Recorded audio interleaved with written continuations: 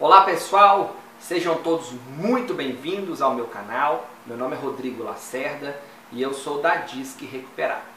Pessoal, muitas pessoas é, recentemente me perguntaram tá, é, por que é que eu não trabalho mais com BGA. Tá? Então aqui nesse vídeo hoje eu vou explicar para vocês o motivo que eu parei de oferecer esse serviço, é, o serviço de BGA.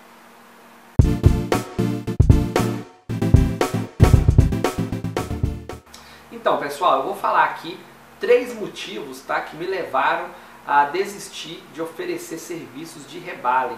É, então, se você também está querendo adquirir a máquina, começar a prestar esse tipo de serviço, escuta bem aqui, assista esse vídeo, tá? Que você talvez vai tirar algumas dúvidas que você tem, que talvez as pessoas não falam, né? Na verdade, eu acho que ninguém fala sobre isso.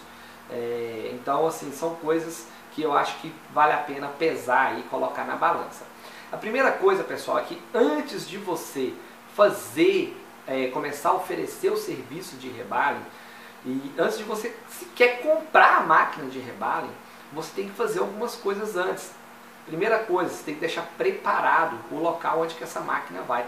Parece uma besteira, mas não é besteira. Você tem que ter um local apropriado. E por incrível que pareça, eu não tenho um local apropriado.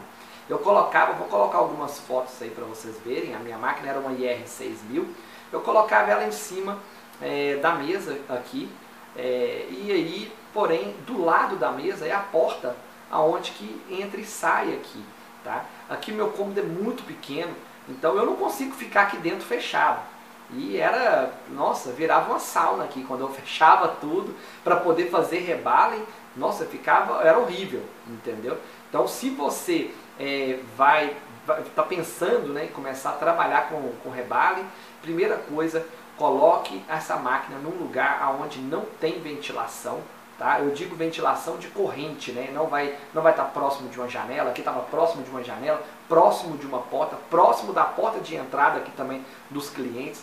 Então assim, não tem como, você está trabalhando, de repente um cliente chega, como é que você vai fazer? Vai pedir para ele esperar do lado de fora? Olha, espera um pouquinho aí, daqui 10 minutos máximo eu vou aí te atender. Não tem como, tá? Então esse foi o primeiro motivo, eu não tinha um local apropriado. E o problema é que eu só fui descobrir isso depois que eu adquiri a máquina, tá? Aí eu comecei a ter problemas, eu comecei a ter que fazer BGA na parte da noite, com tudo fechado. E eu já estava cansado também, então as coisas não estavam indo bem. Segunda coisa, pessoal, é o seguinte, não pense que você vai adquirir essa máquina, vai colocar ela aqui na sua frente e pronto. Milagre, vai ser um milagre, tudo vai acontecer. Não é assim, tá? é difícil, não é um processo fácil, é um processo complicado, exige que você adquira ou compre um curso, né? Compre um curso, se capacite primeiro para depois você começar a realmente trabalhar na máquina, tá? Além disso, os custos são altos, tá? Poucas pessoas falam, mas um extenso, se você for comprar apenas um extenso, ele não é barato, tá? É, extenso ele entorta, se você não souber manejar ele, ele entorta, então você tem que comprar depois mais outro. Outra coisa muito complicada é você conseguir os chips, tá? É, tem chip que você tem que pedir de fora, é, dependendo, leva 30, 60, 90 dias para chegar. Aí você tem que explicar isso para o seu cliente, seu cliente tem que aceitar isso, tá? Esperar ficar 90 dias ou mais para fazer o rebale e ver se vai funcionar. Porque não quer dizer que se você fizer o rebale, que vai dar tudo certo, não. Tá bom?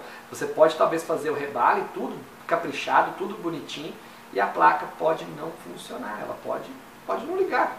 Ok? Isso, isso pode acontecer. Então fique ciente tá? É, que, que isso pode acontecer. É, você, ah, uma outra coisa, pessoal, que eu estou esquecendo aqui, falando sobre custos, você tem que comprar é, ferramentas específicas para fazer rebale. Você tem que comprar, além do extenso, você tem que comprar as esferas. As esferas têm os tamanhos dela. Tá? Você tem que ter pelo menos uma de cada tamanho. Tá? Não, é, não é simples assim não. Não é você comprar e falar, agora pronto, estou com a máquina, eu já posso começar a ganhar dinheiro. Não é bem assim. Tá? Então esse aí foi o meu segundo, segundo motivo, segundo motivo que me fez é, é, não, não, é, não prestar mais o serviço. Tá bom? E vamos agora para o terceiro motivo. Meu terceiro motivo, e que foi o definitivo, que eu falei, não tem como eu continuar com a máquina dessa aqui, não tem como eu, eu dar sequência em rebale, que é a demanda.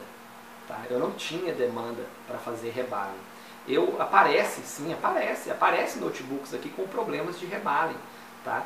É, problemas de BGA que a gente fala, né? Porém, pessoal, é, de repente aparece 10, só um desses 10 que vai aceitar você fazer o, o, o rebale, tá? É, então, assim, a minha demanda ela era praticamente nula. Eu tinha que, cheguei a ter, quando muito eu cheguei a ter dois no mês, tá? Dois que aceitaram eu tentar fazer o rebale, eu, eu, eu fazer o rebale. Então, pensa, eu faço um investimento, não é um investimento barato, tá? Estamos falando aí de um investimento de pelo menos, eu comprei uma IR 6000, como eu já disse, colocando todos os insumos, tá? o curso e tudo mais, você vai fazer um investimento inicial aí de 6 mil reais, pelo menos. Pelo menos, estou jogando baixo, tá? Porque também, como eu estou te falando, você também precisa também ter um local apropriado, tá? Se você puder fazer um investimento em um ar-condicionado, também é bom. Então, assim, é pelo menos 6 mil reais usando, estou usando base aí da, da IR 6000. Então eu não tinha essa demanda, tá? Eu não tinha como estar tá oferecendo mais o serviço, porque eu não tinha demanda. A máquina estava aqui, ela estava aqui só exposta mesmo, ela estava como se estivesse numa vitrine, tá? Eu praticamente não usava ela mais. Então não tem essa demanda toda para mim aqui, na minha região, na minha cidade. Falar a verdade, tem pessoas que nem sabem que existe rebalho aqui na minha cidade, tá? É, e eu tentei, eu fiquei com ela um ano, tá? Até antes de eu vender ela, ok? Espero que eu tenha esclarecido aí a quem tinha as dúvidas para saber o porquê que eu parei de, de, trabalhar com rebale. Como eu disse, não foi o problema, não foi o rebale em si, tá? O problema foram esses três motivos aí que eu acabei de citar. Se você gostou desse vídeo, deixe seu like. Se não gostou, pode deixar seu dislike também. Mas não se esqueça de se inscrever no canal, marcar o sininho para que toda vez que sair um novo vídeo, você seja notificado. Um grande abraço e até o próximo vídeo.